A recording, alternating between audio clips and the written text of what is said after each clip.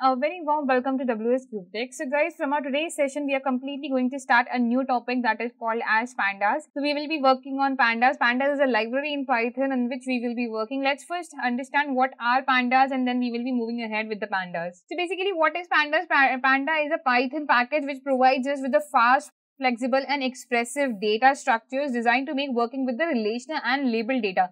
So suppose uh, what is the meaning of relation and label data and what is fast, flexible and expressive data over here is suppose if you are working with the tables, with the CSV files or any kind of file and over there you want to create a relation in between or you want to work on the label data. That means if you want to work on a data that is in the format of a rows and columns, in that case pandas is used. There here are just a few of the things that pandas does well. What are these things? The panda is very good in analyzing a data. Suppose if you have a data, if you have a raw data or if you have data about any company or about any grocery store or at a restaurant or let it be anything. And if you want to make any analyzation, if you want to see the patterns over there and if you want to explore the data, clean the data, manipulate the data, for that pandas is the best option. The name pandas has a reference of both panel data and Python data analysis. That means the pandas over here is not coming from an animal, but it, but it comes from a panel data and Python data analysis and it was created by Wes McKinney in 2008. If I talk about the applications of pandas, it is, uh, it is used for easily handling of missing data. For example, if, if I talk about a grocery store, okay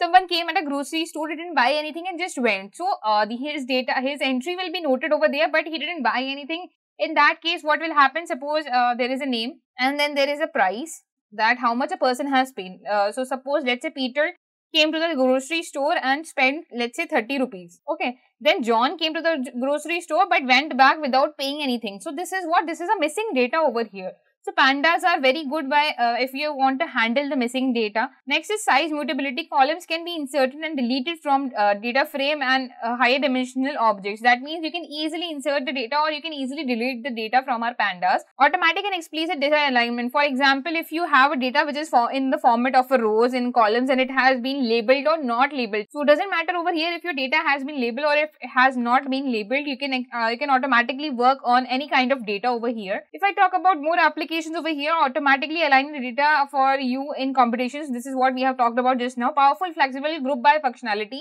So it provides us with a group by functionality as well. So group by is a kind of a topic that we have learned in our MySQL or SQLite. Intelligent label based slicing, fancy indexing, subsetting of large data That means you can you can uh, create the labels. You can create uh, you can once you have created labels, you can do the slicing over there. You can uh, give your own indexes over there. So it, it is not necessary that you can use the so it is not necessary to use the indexing that your computer provides but you can create your own indexing with your own labels over here. Like you can use letters over here for indexing. Subsetting of large data sets over here can also be done using the pandas. Intuitive merging and joining of data that means you can merge the data join the data. There are different types of joins inner join outer join that we will be discussing throughout this module. Lastly flexible reshaping and pivoting of data. So we will be discussing on this topic as well that what is reshaping and pivoting of data. So basically if you have a data suppose suppose if you have a rows and columns and in your columns you want to reshape them, you want to create a column which is based on existing column, then in that case reshaping and pivoting of data is used over here. That means Panda is not limited to a one type of work. That means it does not only works on rows and columns, but it can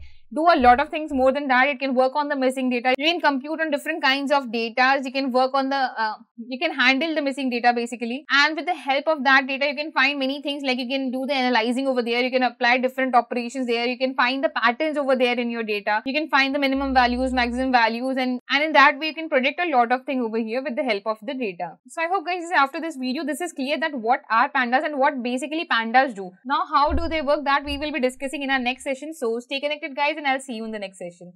Thank you.